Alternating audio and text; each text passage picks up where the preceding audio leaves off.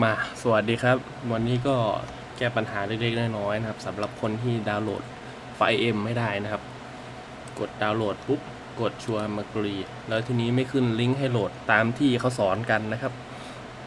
ก็ไม่ได้คิดมากนะครับ ก็ให้กดตรงนี้นะครับ if download doesn't start นะคลิกเหียคลิกตรงนี้ครับอ่าเรียบร้อยนะครับ คลิปสั้นๆนะแก้ปัญหานะครับอย่าลืมฝากกดไลค์กด subscribe นะครับมีปัญหาเอ่อ ลิงก์ Facebook อยู่ด้านล่างนะครับ ไม่รับแก้ปัญหาเกี่ยวกับเรื่อง ID เรื่องรหัสนะครับนะ โอเค สั้นๆนะครับ ขอบคุณครับ